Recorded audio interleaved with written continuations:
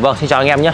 Chào mừng anh em đã quay trở lại với Thiên Sơn Cầm Thì hôm nay à, em làm một cái video ấy để hướng dẫn anh em cái chi tiết các bước để làm sao mà giúp chú họa mi của anh em có thể thay lông một cách nhanh nhất và có bộ lông mới tuyệt đẹp luôn. Đầu tiên, nếu anh em muốn à, giúp họa mi thay lông nhanh thì anh em phải tách được con mái ra. Họa mi mái thì à, dùng vào việc là để giúp họa mi trống căng nửa và làm cho tinh thần của họa mi phấn chấn lên kích thích con trống căng lên. Đó. Thì khi uh, có mái xùy đặt cạnh hai lồng chống má với nhau nhảy thì kể anh em không mở lồng ra nhưng mà chim ấy thì nó cũng như con người thôi nó vẫn sẽ cảm nhận được bên cạnh là con mái. Kể không mở lồng nó không có nhìn nhau. Anh em phải tách làm sao được là treo thật xa chỗ nào đấy chỗ hỏi chỗ nào đấy cho con mái tách hẳn ra không nghe tiếng con mái xùy hay là không gọi là gần như không có hiện diện con mái trong nhà. Đó để làm cho con trống nó không có cái tinh thần nó kích thích lên nữa thì sẽ tập trung vào cái việc thay lông tiếp theo nữa là anh em phải nuôi họ mi phải thật béo. Thì uh, cái vấn đề này là em đã nói rồi. Thì khi chim ấy, nó không béo ấy, và nó cũng không đủ lực để mà ừ, nuôi bộ lông mới cho nên là sẽ không chút lông cũ đi. Thì uh, những chú họa mi mà đang không chút lông cũ nhanh ấy thì anh em chỉ cần là nhìn vào bộ lông cũ thôi. Là đang sơ xác này và khi tắm thì lông bị bết dính. Và bộ lông bị bết dính vào gần như rất là khó khô. Thì lúc đấy là biểu hiện của chú chim đang bị gầy. Cái việc này anh em phải biết cách. Và biết cách là điều mồi tươi cho họ mi nhiều, để họ mi đủ dinh dưỡng để có thể là chút lông được và đủ dinh dưỡng để béo, làm béo có thể. Đó. Thì có lượng mỡ nhất định trong cơ thể chim mới à, chút lông được. Cái việc để mà làm cho mi chút lông được ấy, thì anh em hãy cho mi ăn dế thật nhiều. Đây anh em nhé. Trong con dế nó sẽ chứa rất nhiều nước và rất nhiều chất béo. Và dế là một loại uh, nguồn thực phẩm và rất là mát đối với họ mi. Không phải đối với họ mi mà tất cả là chim khi ăn dế rất là mát. Và khi ăn dế thì chim sẽ chút đông rất là nhanh. Đây là một nguồn thực phẩm mà anh em lên cho chim ăn để làm sao giúp chim có thể xuống lông nhanh nhất. Thường thường là vụ thay lông là kéo dài từ khoảng tháng à, 7 đến tháng 11 thì đến tháng 7 tháng 8 rồi mà chim chúng ta mà chưa thay lông thì bắt buộc chúng ta phải có những cái cách để xử lý giúp chim có thể xuống lông được. Chứ nếu mà không cho chim xuống lông thì chim sẽ bị thay lông trái mùa và chim sẽ bị thay lông dặn. Và cả một vụ năm sau chim sẽ cứ chút lông, nó cứ lưa thưa lưa thưa, cứ thỉnh thoảng lại chút, thỉnh thoảng lại chút, thỉnh thoảng lại ra lông mới thì cả một vụ năm sau thì chim sẽ lúc nào cũng trong tình trạng là da lông mới và chim sẽ không căng được hẳn, anh nhớ. Chim vẫn hot nhưng mà chim sẽ không thể nào đạt được đỉnh được anh em thúc dế vào, vừa để cho chim béo và cho chim mát, để chim xuống lông nhanh nhất có thể. Tiếp theo là phần à, cho chim tắm.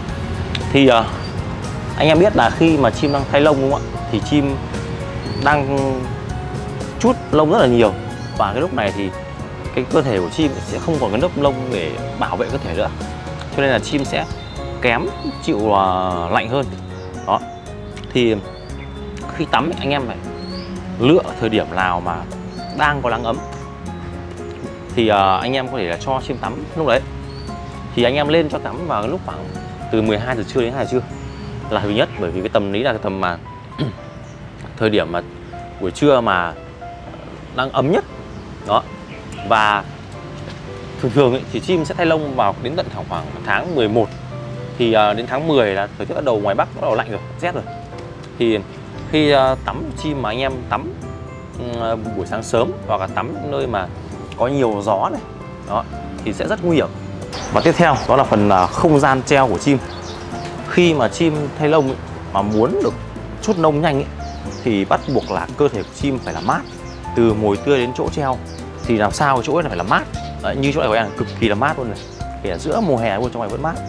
Cái việc mà chim được ở nơi à, mát ấy, thì cũng sẽ làm cái phần mà vô cùng quan trọng để chim có thể là xuống được bộ lông nhanh. Và cái nơi treo chim ấy thì phải là cái nơi mà yên tĩnh nhá. Thì à, những chỗ này là chỗ mà không có người qua lại này. Không có những cái cái tác động làm chim giật mình. Không có những cái tác động gì bên ngoài để làm chim cảm thấy hoảng sợ cả. Con chim lúc mà đang thay lông ấy, thì gần như nó cần một cái sự chấn tĩnh rất là rất là cao nha anh em nhé. Thì uh, anh em lên bố trí một cái góc nào đấy hay phòng nào đấy để cho chim ờ, ở một nơi uh, treo ở mát với tĩnh. Vâng và phần tiếp theo một phần đó là lơi ngủ của chim.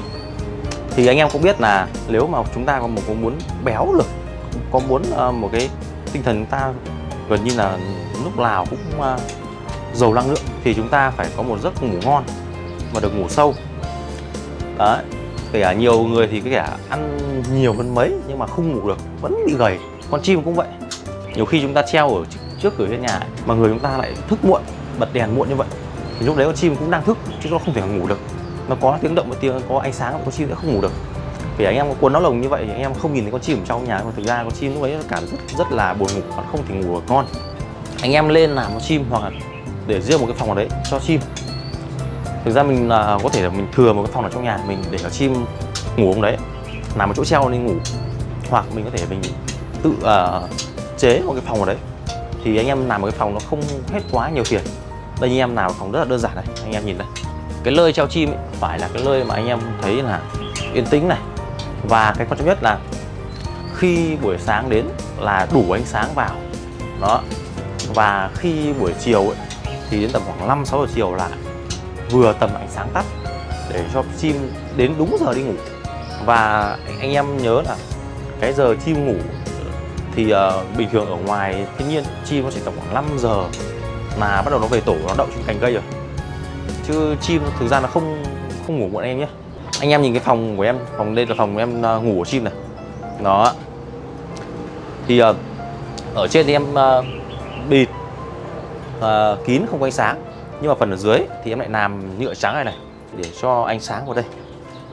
Nếu mà cái phòng của chim mà quá tối tăm ấy thì chim sẽ cực kỳ yếu em nhé.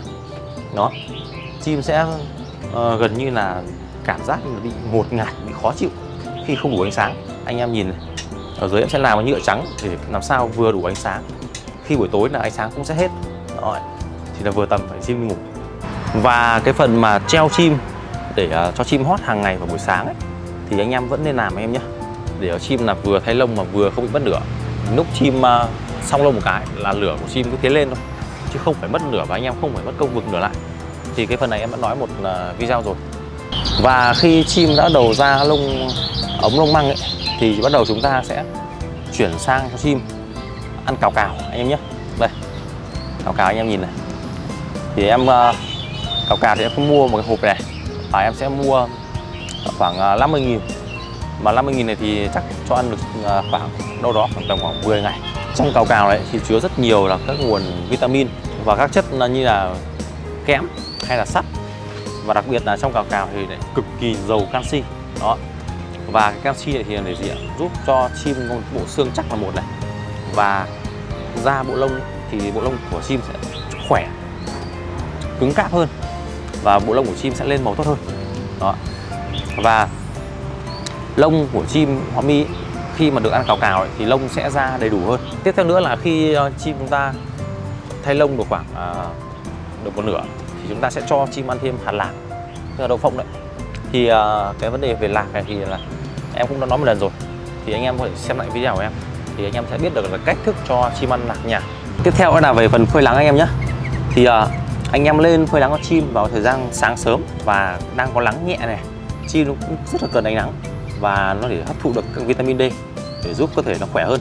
Cái bí quyết mà để giúp chim có bộ lông vàng ấy là vấn đề phơi nắng buổi sáng. Thì um, nắng buổi sáng mới là nắng tốt anh em nhé. Còn nhiều anh em là cứ khuyên là tắm nắng buổi chiều ấy, thì thật sự là nó không thật sự nó không sao cả nhưng nó cũng chẳng tác dụng gì cả. Đó thì anh em lên cho chim tắm nắng buổi sáng và chim thay lông rồi này. Thì anh em cũng nên không nên siết nắng chim nhiều quá. Chúng ta chỉ cho chim tắm nắng khoảng 5 đến 10 phút thôi cho chim có, có ánh sáng có ánh nắng vào trong làm bộ lông mới thôi. Đó. Và cái vấn đề tắm nắng này này thì anh em cứ cho khoảng 4 5 ngày một lần. Đó chứ không không phải là ngày nào cũng tắm nắng em nhé. Bởi vì khi chim đang mới có lông máu này lông măng này này thì nếu mà tắm nắng nhiều quá sẽ làm cháy lông và làm bộ lông xấu đi. Thì vừa rồi là em đã làm à, một cái video mà để chia sẻ anh em cực kỳ chi tiết các bước để giúp họa mi có thể xuống nông. À có một bộ lông mới làm sao mà tuyệt đẹp. Thì à, anh em à, thấy video của em hay thì à, hãy cho em xin một like và một à, nút đăng ký. Và anh em hãy chia sẻ video này đến à, cộng đồng đến nhiều anh em khác để cho những em mà đang mới chơi có thể là biết được những kinh nghiệm mà để cho cái phong trào nuôi mi này của chúng ta ngày càng lớn mạnh hơn. Vâng, xin cảm ơn anh em. Xin chào.